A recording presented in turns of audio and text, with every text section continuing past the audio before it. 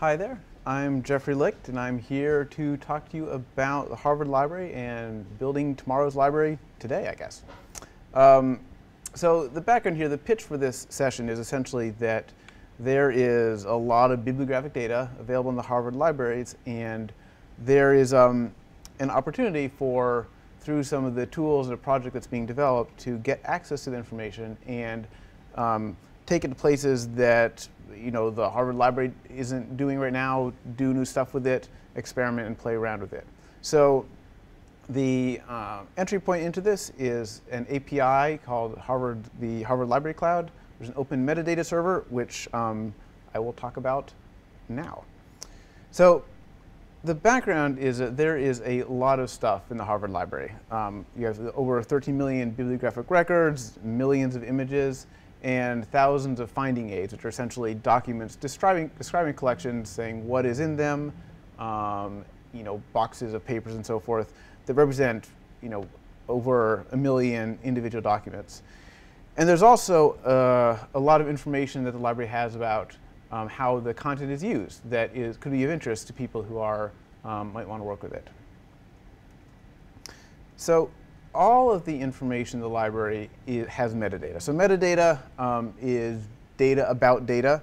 So when we talk about the information that's available through the library cloud that's available, it's not really, not necessarily the actual documents themselves, not necessarily the full text of um, books or the full images, though that actually may be the case.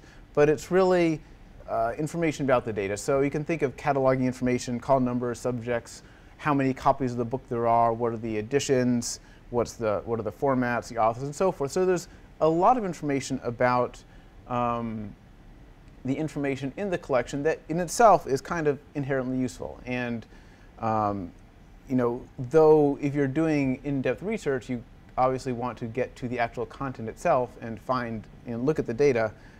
Finding the metadata is useful in terms of both analyzing you know, the corpus as a whole, like how do all, what is the, what things are in the collection, how do they relate?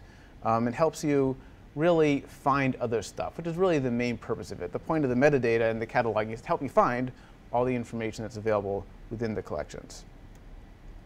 So this is an example of metadata um, for a book in the in the Harvard Library. So it's there, and you can see it's actually moderately complex. And part of the value of metadata within the Harvard, Harvard library system is that it's been um, sort of built up by catalogers and assembled by people applying a lot of expertise and skill and thought to it over time. So, which is more than, um, you know, which, is, which has a lot of value. So if you take a look at this record for um, the annotated Alice, you can find out, you know, you've got the title, um, who who wrote it, the author, and you know, all the different subjects which um, you know people have cataloged into. And you can see there's also there's an addition to um, you know a lot of good information here. There's some duplication. There you know there's a lot of complexity that's reflected through the metadata that you have. So you know the title one title of this book is Alice's Adventures in Wonderland. And this is an annotated version of um, of that book, but it's also called the annotated Alice Alice's Adventures in Wonderland because it's something which Martin Gardner wrote and annotated the book, and there's a lot of great information about logic puzzles and things within Alice that you probably didn't know about, so you should go read it. But you can see there's a lot of detail here, and um, including identifiers, when it was created, where it came from in terms of the Harvard system, and so forth. So this is a sample of the type of metadata that you might see for a book in the Harvard Library collection. Um, this is something completely different. So um, there is a, a, system called VIA at Harvard, which basically is cataloging images and objects of art and um, visual, visual things throughout Harvard and um, adding some met metadata to them, classifying them, and in some cases providing um, you know, small thumbnail images that you can take a look at if you, if you so wish. So this is an example of the metadata that you have for a plate from presumably Alice in Wonderland. And you can see there's, you know, this is, there's less metadata here. It's just a different kind of object, and so there's, there's less information. You mostly have the fact that a call number, essentially who created it, we don't know when it was created, um, and a title. Another example, this is a finding aid. So there's a collection of Lewis Carroll's papers at Harvard. So this describes um, what, what is in that collection. So someone has gone through and looked through all the boxes and um, you know, cataloged it, given some background, written a summary of what's here. And if you were to look further at this, this goes on for pages and pages and pages, but we'll tell you, you know, what letters and what dates from what boxes existed throughout the, um, you know, in the collection. So this is something that if you're Harvard, you can go and actually physically look up and presumably take a look at. So this is all great. Um, this metadata is useful. It's in the Harvard library system. You, there are tools online where you can go and take a look at it and see it and search it and lots. You can slice and dice in lots of different ways. But it's really only available if you are a human being sitting down at your web browser or um, something or your phone and navigating through it it's not really available in any kind of usable fashion for, for other systems or other computers to use. Not with systems within the Harvard Library, but systems in the outside world, just other, other people in general. So the question is, how can we make it available to um, computers so that we can you know, do more interesting stuff with it than just browsing it ourselves? So why would you want to do this? There's um, you know, there are a lot of possibilities. One is you could build a completely different way of browsing the content that's available through the Harvard libraries. Um, I'll show you one later called StackLife, which you know, has a completely different take on looking for content. You could build a recommendation engine. So you know, Harvard Library isn't in the business of saying you like this book, then go take a look at these 17 other books that you might be interested in, or these 18 other um, images. But that is certainly could be a valuable feature, and it's given the metadata, it may be possible to put that together you might have different needs in terms of searching the content. Like may, despite the tools that are available through, you know, the library makes available, you might want to search in a different way or optimize for a particular use case, which maybe it's very specialized. Maybe there are only a few people in the world who want to search the content this way, but it would be great if we could let them do that. Um, you know, there's a lot of analytics in terms of how people use the content that would be really interesting to know about. Find what books are being used, what are not, um, and so forth. And then there's a lot of opportunity to um, integrate with other information that's out there on the web. So we have, you know, for example, NPR has a book review segment where they interview authors about books. And so it would be great if you were looking up a book in the, um, you know, the Harvard Library to say, okay, oh, there's been an interview with the author. Let's go take, take a look at that. Or there's a Wikipedia page you know, as an authoritative, you know, scholarly reference about this book you might want to take a look at. There are, you know, these types of sources, um, you know, scattered throughout the web, and bringing them together would be, you know, could be a great use to someone looking at the content, looking for something. But it's also not the kind of thing you'd want the library to be responsible for going down and hunting all these different sources and plugging them together because they're changing continuously and they're only, um, and you, what they pick, what they think is important may not be what you think is important. And even more so, basically, there's a lot of stuff we haven't thought of yet. So um, if we can open this up, more people besides you know, a half dozen or so who are looking at this on a regular basis can think of ideas and massage the data and do what they want with it. So we want to make this data available to the world. And, but there are a couple complications. One is that this metadata is in different systems, it's in different formats. Um, so there's you know, what's some normalization which needs to happen, which normalization being the process of bringing things from different formats and mapping them to a single format so that you know, the fields will match up. There are some copyright restrictions.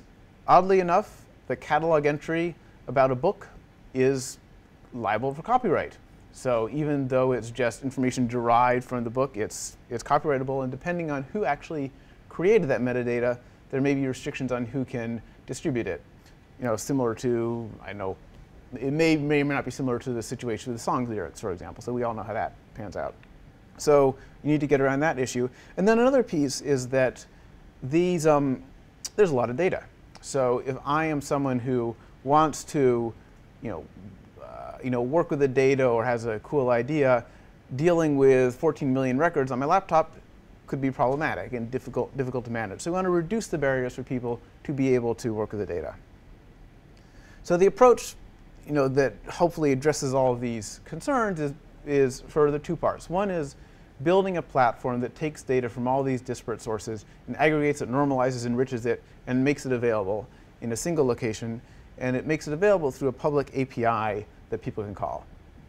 So an API is an application programming interface, and it basically refers to um, an endpoint that a system or technology can call and get data back in a structured format in a way that it can be used. So it's not, not dependent on going to a website and scraping data off of it, for example. So this is the homepage of the Library Cloud Item API, which is essentially, it's version 2, so it's the second iteration of trying to make all of this data available to, um, to the world. So it's http api.lib for library, harvard.edu, v2 slash items. And just to break this down a little bit, what this means is that this is version 2 of the API. There's a version 1, which I'm not going to talk about, but there is a version 1. And you're calling this API, you are getting items. And part of um, the idea of an API is an API is a contract. It's something that is not going to change. So for example, and the reason is that if I build some kind of system that is going to use the Library Cloud API to um, you know, display books or you know, help people find information in unique ways, what we don't want to happen is for us to go change how that API works, and suddenly everything breaks on, on the end user side. So part of, if you're, if you're um, making API, API available to the world, it's good practice to put a version number in it so people know what version they're dealing with. So if we decide we find a better way of making this information available, we might change that to be version, call that version 3. So everyone who's still using version 2, that'll still work. But version 3 um, is, uh, would have all the new stuff. So what this so this is an API, but this really looks like a URL. And so what this is an example of is what's called a REST API, which and it's available over just a regular web connection. And you can actually go to it in a browser. So here I'm gone to just open up Firefox and gone to uh, api.lib.harvard.edu slash v2 slash items. And so what I get here is basically the first page of results from the entire set of items that we've got. And it's here in XML format.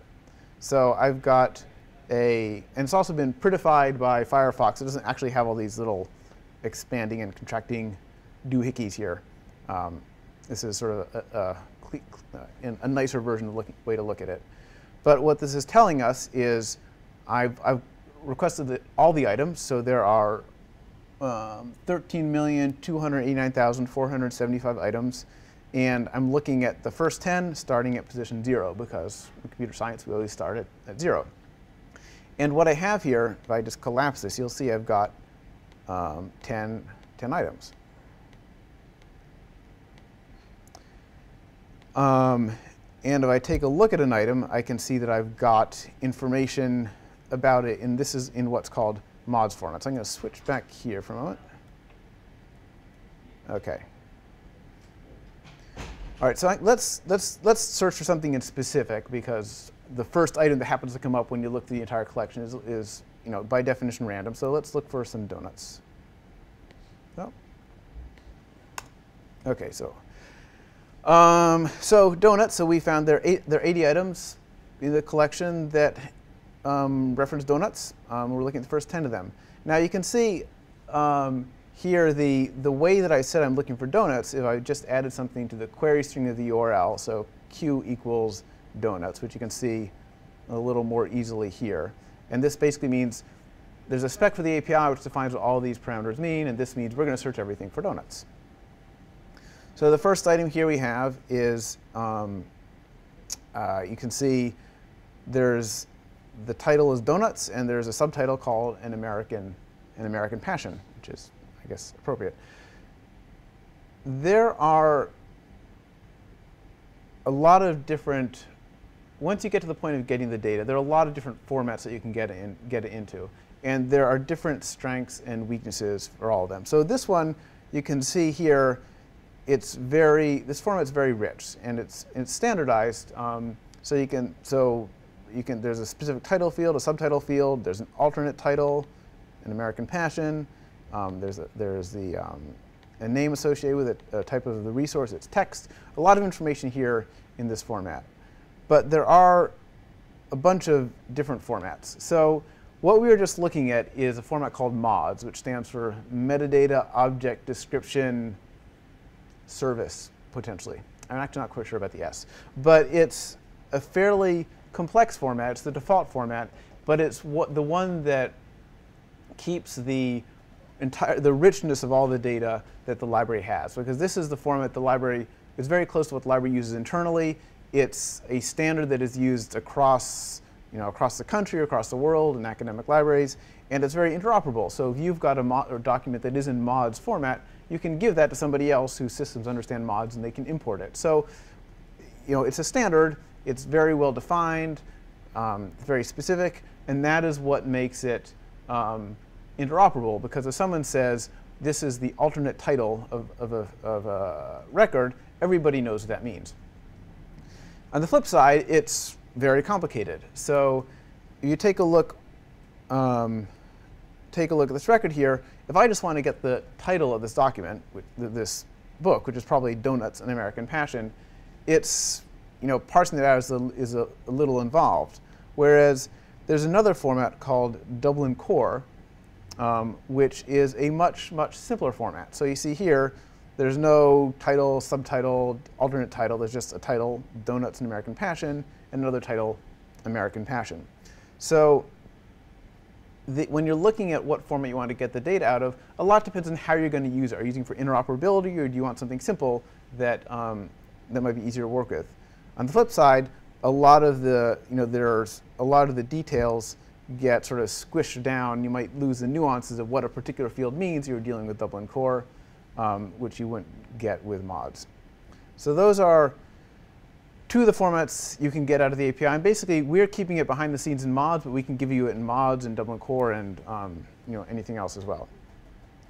The, the other consideration you're looking at the data is you can get it as either JSON, which stands for JavaScript Object Notation, or XML, which stands for Extensible Markup Language. And these are, these data representations both have exactly the same data, exactly the same fields, but they're just syntactically different. So this is a this is a um, well let's just switch so this is the our query for donuts in XML format if I just switch this to be JSON I can see it looks different so now this is same content but a different structure there are fewer angle brackets it's less verbose um, and this is a format that if you are working in the web environment, you are most likely going to want to use because one of the nice things about JSON is it's compatible with JavaScript. So if I'm writing web app, I can pull in JSON and just work with it directly. Whereas with XML, it's a, a little bit more complicated. So again, these are both useful. They just are different use cases where people might want to use them. OK. So um, so back to the API. So we can search for, gave an example of searching for, for donuts. We can also search just on, in a particular field within here. So I can, instead of searching the entire record, I can just search the title field.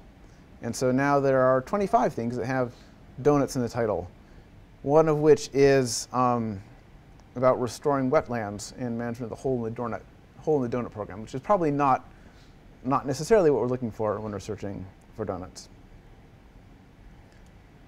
Um, you can also, when you're dealing with an API, part of having an API is giving people access to large data sets. And there are a couple different tools you can use to do that. One is, you know, very simply, you can page through the data. So just as if you look, if you do a query through a web interface, you can look at page one, page two, page three. You can do the same thing through the API. You just need to be explicit in how you do it. So for example, if I'm looking at, um, if I look at my first query here, where I'm doing a search for things with donuts in the title, I can say, and limit equals 20, which means give me the first 20 records, not the first 10, which is the default, because I want to look at 20 at a time. Or I can say, you know, set the start equal to 20 and limit equal 20, which will give me records 21 to 40. So um, these are, uh, you know, I guess the thing to, to take away here is that the we're using the query string to sort of set parameters on, on the query and it lets you, um, you know, control what you get back. Another tool that you can use, and this is really you know, helpful in terms of exploring the data, is something called faceting.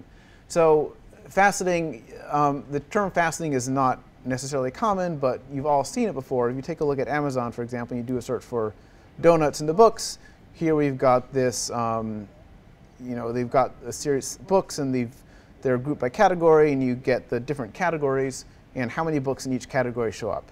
So this is basically a facet. There, you take all the books, the 1,800 books that match donuts at Amazon, 12 of them are in the breakfast category, 21 in pastry baking, and so on and so forth. So this is really a useful tool for exploring, um, you know, exploring the content within the library as well. So because you know when you look at a facet, you can then it gives you an idea of what subjects exist, like what types of subjects are most popular within your query set, and helps you you know drive off and explore. So we can we can do the same thing if we want to use the API and look at facets. We add another parameter to our friend the query string. So facets equals a comma separated list of what we want to facet on. So one of the facets might be subject, another might be language. And so if we run that query, we get um, it looks pretty much the same here, but we've added to the end of the list a set of facets. So we have a facet called subject, and the United. So this is telling us that if I look at my 80 donut, resu donut result results from the donut query, 13 of them have the subject United States, three have the subject donuts, three of the subject of wetland restoration, which may be our hole in the donut, um, two of them Simpsons, and so on and so forth. So and this this can be useful if you if you're um, looking for a, if you want to narrow down your search, it can help you do that, especially if you have more than say 80 results. Similarly, we also asked for facets on language. So um,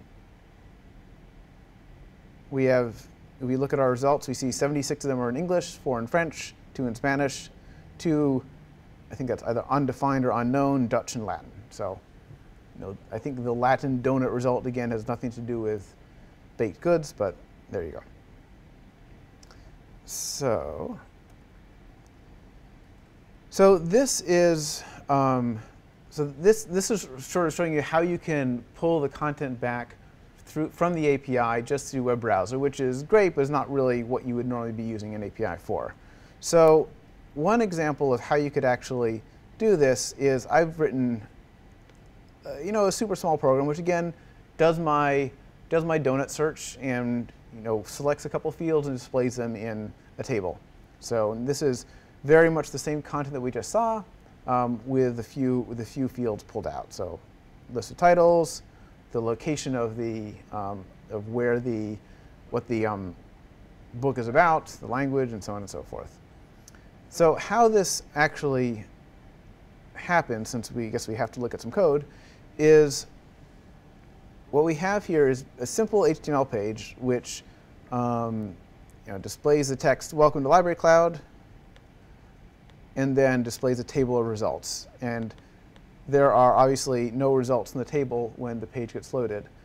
But what we're doing is, first of all, we are loading a library called jQuery from, uh, um, which is basically a JavaScript library which makes it um, very easy to manipulate JavaScript, manipulate HTML, and create web pages, um, you know, client-side logic on web pages. So what we have here is jQuery has a method called get, which essentially will go to a URL, which in this case is this familiar-looking URL, um, and we'll, we'll then get the contents from that URL and then run a function on it. So we said go go to api.lib.harvard.edu, search for donuts, give us 20 records, and then run this function, which is uh, which I've selected, um, passing it the data. And the data is the JSON that, um, that got returned from the API. And then we're saying within that data, you know, within that data there's a field called item. And if I go take a look back at um, one of these result sets here, um, there's something called, well, it's called item, so that may be that. And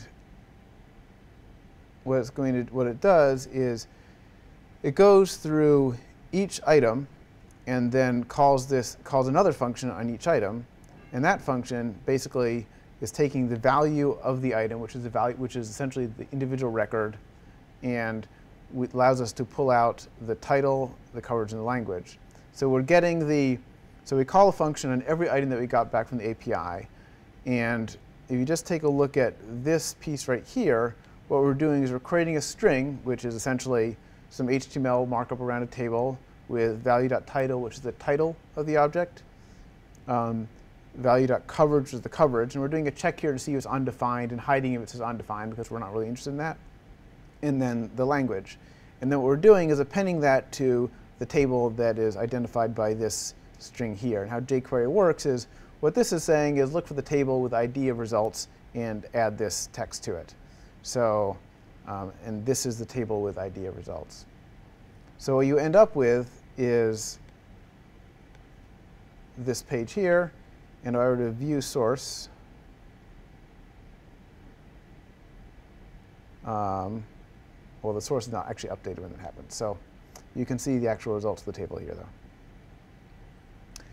So that's just a, you know, a simple example of you know, doing a very basic query against the API and displaying the information in some other form without doing anything too, too fancy.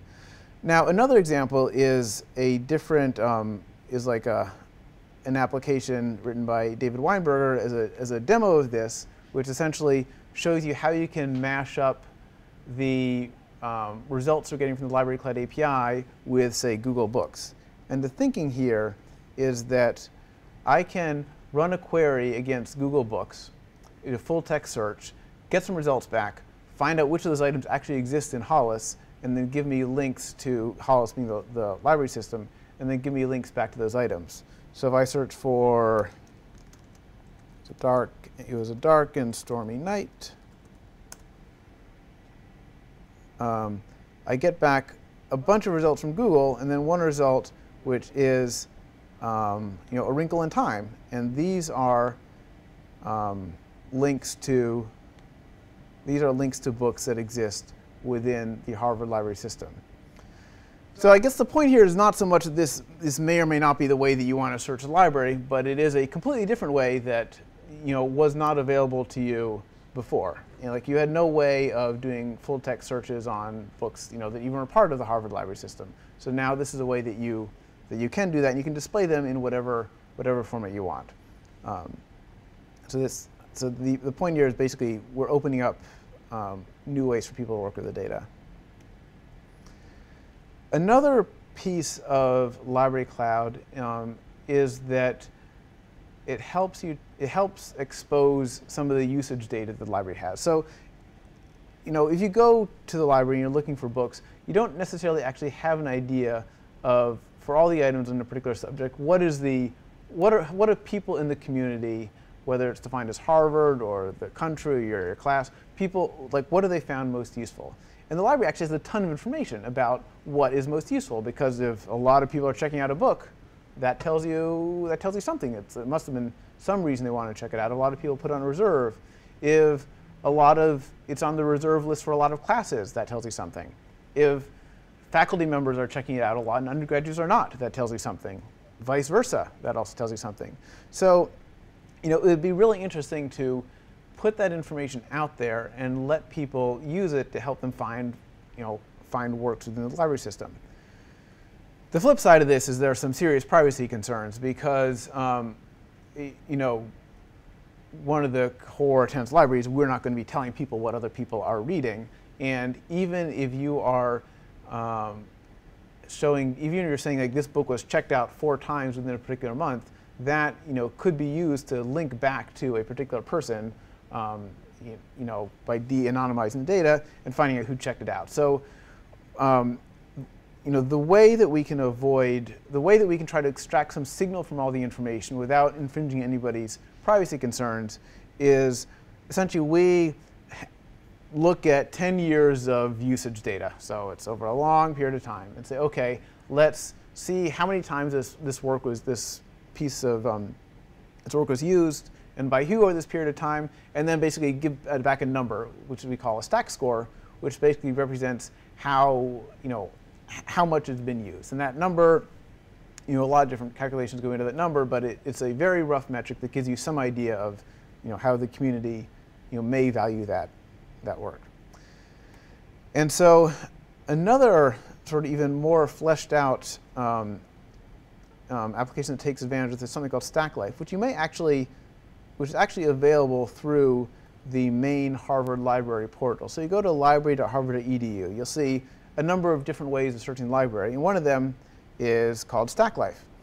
And this is, this is an application that, is a, that browses the, uh, the content library, but is completely built on top of um, these APIs. So there's no, there's no special stuff going on behind the scenes. There's no access to data that you don't have. It's, it's using the APIs to provide you a completely different browsing experience. So I search for Alice in Wonderland in this case. I get a result set that looks like this, which is pretty much, um, you know, it's very similar to another any other search you might do, except that in this case we're ranking the items by stack score, which tells you, um, you know, which gives you some idea of how popular these items were within the community. And oddly, and so clearly, Alice in Wonderland by Walt Disney is, um, you know, highly popular. But you can also see, you know, the top four here are, um, you know, uh, you know, are, are, ones you might not actually um, things that are highly used, but might, may, you may not have immediately connected with Alice in Wonderland. So our old friend, the annotated Alice, is here. So I can take a look at it. And now what I'm looking at is basically a, a set of, um, I, I, can have the annotated Alice right here. I have information about it. Um, and I also have a stack score of, in this case, 26. And this tells me sort of roughly how we got to this stack score. Like who checked it out, like how many times it was checked out, like faculty, undergrads, how many copies the library has, and so on and so forth. Um, and you can also, interesting enough here, browse the stacks virtually. So the data here, it, this is showing you sort of a virtual representation of what the books like might, what the shelf might look like. You would take all the library's holdings and put them together on one infinite shelf. And the nice thing is that we can, you know, first of all, the metadata about these books often tells you tells you when it was published, it tells you how many pages it has, it might tell you the dimensions. So you can see that's reflected here in terms of the size of the books.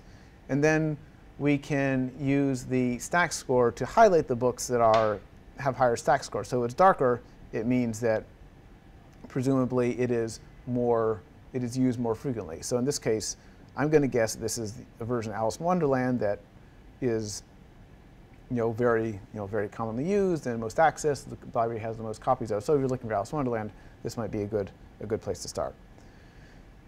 Um, and then here you can also link out to say Amazon to purchase the book and so on and so forth.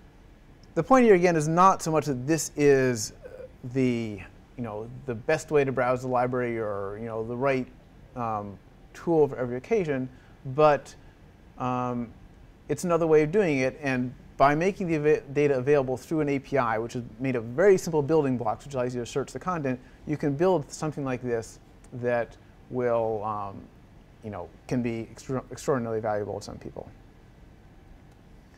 So that's, um, so that's sort of, you know, as much as I want to say really about how the, you know, what the API is and what it exposes. There's a, there's a whole bunch of stuff behind the scenes, which I'm just going to touch on briefly, just because it, it comes it sort of comes at this from a completely different angle in terms of like how does something like this get put into place. So an API is a very is a standard um, interface, you know, to all this content. But to get it there, you know, the first thing we had to do was pull together um, information about books and images and the finding aids, the collection documents from various Harvard systems. Aleph, V, and OASIS are the names of the systems. And they essentially go into a pipeline of a processing pipeline. So first of all, we get export files from all these systems. We split them up into individual items. So we have, um, may have a file which is a gigabyte, which has a million records in it. So we split it up into individual items. Then we, for each item, we convert it into mods because some of these are natively mods, some of them are not. So we get them all to be in the same format. Then there are various enrichment steps where we add more information to the data than was available in, in the library. So we need to add, you know, first of all, we'd add what libraries hold it. We go through a step of calculating the stack score.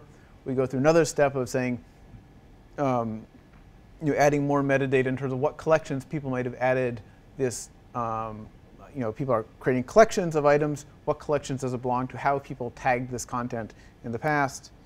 Then we filter it. We filter out any restricted records because, as I mentioned, there's some records that because of copyright reason we can't display, and then we load them into something called Solr, which is not a misspelling, but is the name of a search index, a piece of software that does search indexing, um, which drives all the search behind the API.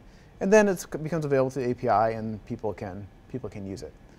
So this is, I mean, this is like a, a fairly straightforward process. The, you know, one of the interesting things about it is that um, we are dealing with 13 million records, and we are going to be dealing or or more, and we want to be able to handle these in a relatively um, um, speedy fashion. So we don't want, it, it takes a long time to process 13 million records.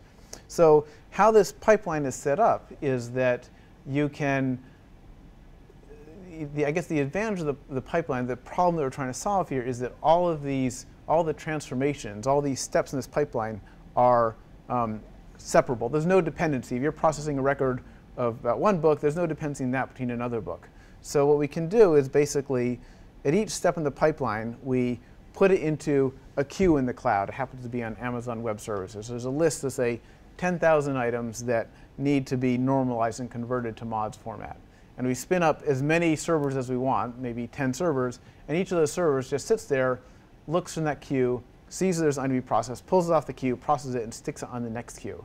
And so what that allows us to do is, um, you know, apply essentially as much hardware as you want to this problem for a very short period of time to process the data as quickly as possible, um, which is something that only you know, now in the world of cloud computing, you can provision servers you know, essentially instantaneously is that useful. So we don't have to have a giant server sitting around all the time to do the processing um, that might happen just once a week.